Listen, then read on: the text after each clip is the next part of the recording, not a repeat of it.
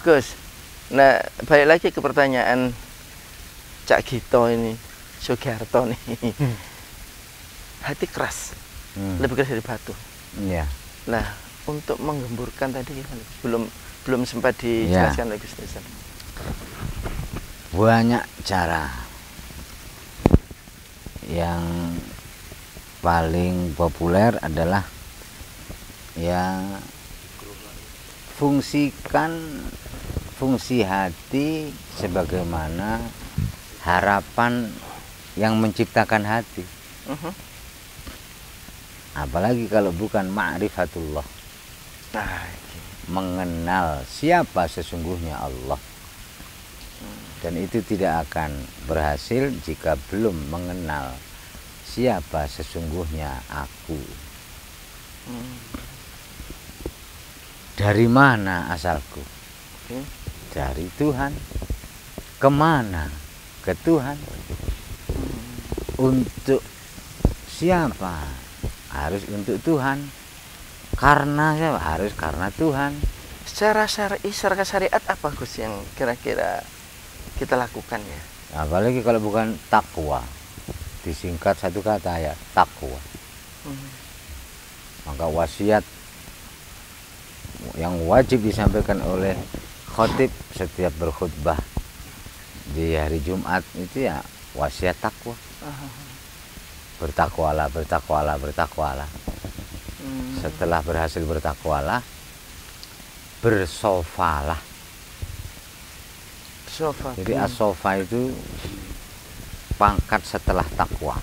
Setelah takwa hakiki akan sofa hatinya. Ketika hati telah sofa, dia aman dari fitnah, aman dari fitnah yang kita bahas tadi. Aman dari segala sesuatu yang menyebabkan kerasnya hati. Nah, eh, kalau kita merefer ke, pa- eh, ke sila pertama dulu tentang istighfar, zikir dan sholawat, eh, kan banyak itu di eh, nasihat-nasihat para ulama ya. Eh, sehari minimal seribu kali istighfar, kemudian sholawat. Hmm. Kalau hari Jumat didua kalikan. Ya, Apakah itu juga bagian dari itu, Gus? ya, ya pokoknya kalimat thayyibah atau kalimat kebenaran, kata-kata yang baik, yang mengandung makna positif, itu semua makanan atau santapan, Santapan hati, Gus, Itu kebutuhannya hati semua itu. Oke, eh tadi dikatakan bahwa secara maknawi ya eh, istighfar adalah minta maaf ya, dan dikatakan juga bisa merasa tidak lebih baik dari yang lain. Kalau dari yang zikir dan sholawatnya itu kayak apa Gus? Secara maknawiannya Gus? Hakikat zikir adalah penghambaan hakiki, Penghambaan hakiki. hmm. rububiyah, ketuhanan. Mhm. Kita bersifat berjiwa ketuhanan, bersifat ketuhanan. Bersifat ketuhanan yang Maha Esa itu Pancasila sila pertama itu ya ketika mengasihi yang tak pamrih tak pamrih itu. Mengasihi tak pilih kasih. Memberi tak harap kembali. Memuji tak berharap dipuji atau dapat sesuatu. Ya berbuat baik yang lillah billah itu yang ikhlas itu. Kemudian yang yang yang sholawatnya sendiri secara maknawinya gimana Gus? hakikat sholawat ya pengabdian murni. Yang tadi penghambaan, ya yang pengabdian. Apa beda penghambaannya? Pak? kalau Pengabdian. penghambaan itu kepada Allah kalau pengabdian itu kepada Rasulullah ah, kalau penghambaan itu langsung kalau pengabdian itu tak langsung maksudnya gimana Gus itu Gus? ya mengabdi kepada Allah melalui zaman Nabi melalui Nabi Ah, kalau sebagai si anak mengabdi kepada Allah melalui kedua orang tua kedua orang tua. Ah. bagi si, si murid mengabdi nggak boleh kepada selain Allah nggak boleh tapi melalui gurunya jadi hakikat dari sholat ini lebih banyak ke zuhir ya Ya, artinya kalau tadi penghambaan kan ada rasa ya. tapi kalau eh, penghambaan ya eh, pengabdian sorry pengabdian sholat itu kan berarti kan ya yang yang bisa kasat mata ya Betul. kebanyakan begitu ya? Memang iya yang kasat oh mata. I see Ya, ya, ya, ya, oke oke Berarti oke. tak hakikat zikir tadi ya ber, ke, bersifat ketuhanan. Iya. Berarti selama manusia, Akhlaku bi akhlakillah, berakhlaklah seperti akhlak Allah. kalau kita belum bisa berarti masih berkesetanan berarti. Ya iya. Lawan dari ketuhanan Nggak adalah ada tengah-tengah berkemanusiaan. keiblisan. Kesetanan. Oh, jadi yang selama ini Gus Gus Nizam Dawo bertutur tentang satu tiga eh, zik- eh, istighfar, zikir dan sholawat itu adalah ini ya, Iya. salah satunya. Banyak makna yang terkandung dalam istilah satu tiga. Di antaranya. Di antaranya itu ya Nah, kan kan eh, pengertian awal saya pribadi dan teman-teman kami itu kan opo mungkin sholawat zikir karo istighfar dadi siji apa carane Nah, Lu penting satu tiga itu pak. Apa itu Soalnya kalau 100 kurang satu tiga jadi 87 pak. hmm. oh, oh, eh, Endeng. oh gendeng Soalnya gak tahu satu tiga. kurang satu tiga. Ya. Gendeng. Ampul. 87 kan. Eh, Delapan- begendeng. delapan tujuh orang gila kalau nang Iya, Ada saya- begendeng ya ono. Kurang satu tiga. Ya. Ya kurang satu. Begendengnya saja loh tapi. Begendengnya. ani gad- gadu lucu gitu gadu no. ya terus nah aja jadi jadi ada tanya question mark ya tanda yang besar apa mungkin zikir sholawat istighfar tadi si apa caranya Ya. ternyata maknawinya seperti itu tadi jadi artinya kan eh, pra iya banyak di perasaan kan Ya memang sumber semuanya ya memusat di rasa. Eh, iya Dalilnya begini. Mungkinkah lidah kita ini merasakan tiga rasa sekaligus? Impossible Loh kok impossible? tiga rasa possible possible ya Loh. Oh, possible ya possible Bahkan sampai enam rasa sekaligus mampu. Ya apa? lidah kita Ya, oh iya iya asin, kok ada nano nano ya Alah. iya nano nano ya iya iya iya karena Kalau lidah saja mampu, Aha. ini lebih peka, lebih tajam, lebih sembarang kalir hati itu.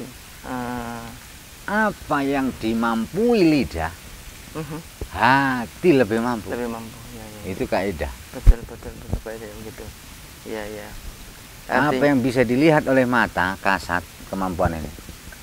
Mata hati jauh lebih lebih tajam. lebih tajam. iya iya iya iya betul paham paham paham jadi kan lebih apa mana hakikatnya kan lebih lebih jauh dengan tentang perilaku ya Iya. itu ya ya Bukankah masing-masing kita ini berstatus tumpuk-tumpuk kayak Rohu ini ya anak, ya bapak, ya suami, Aha. ya tetangga, ya murid, Ya setan.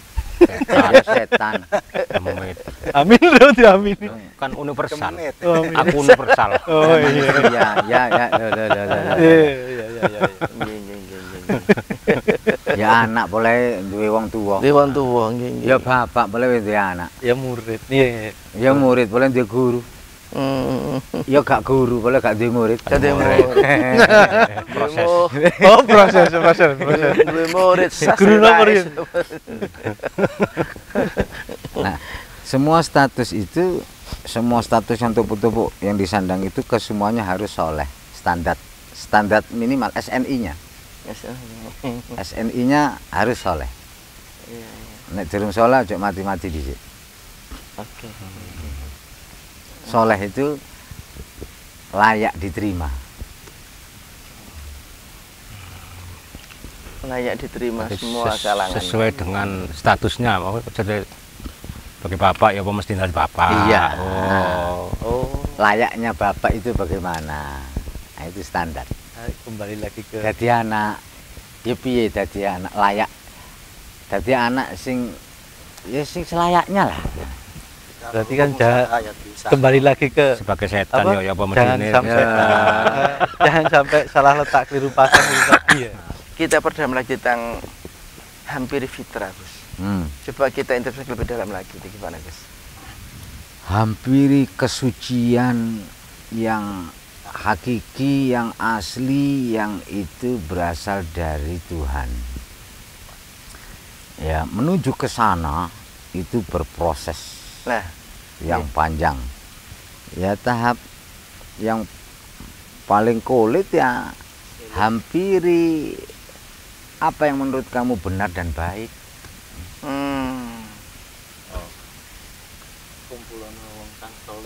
Dijakati dhisik. Mungkin awal dijakati dulu. Iya, itu iya. enggak bala. Apalagi iya, anu iya. Dhisik, Pak. Hmm. Pokoknya semua kebaikan, kebenaran itu bagian dari fitrah Hmm, yang harus kita hampiri. iya, iya, iya. Artinya kita itu harus semaksimal mungkin untuk berjalan mendekati sing api-api kan. Mm-mm. itu itu loh. Hampiri itu ya dekati, Dekati. sedekat mungkin.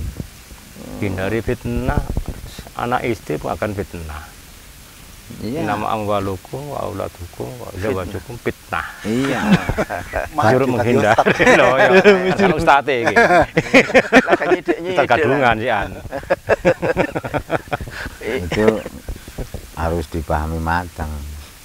Iya, kan Inna min azwajikum wa auladikum aduun lakum fahdharuhum. Sesungguhnya di antara istri-istri kalian, anak-anak kalian itu musuh kalian yang nyata. Oh. Uh, Maka waspadalah. istri-istri hu, lebih-lebih dari satu.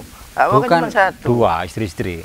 Lah ya, du- istri-istri lebih dari Bukan satu. perintahnya bukan jauhilah bukan. Waspadalah. Hmm. Waspadalah.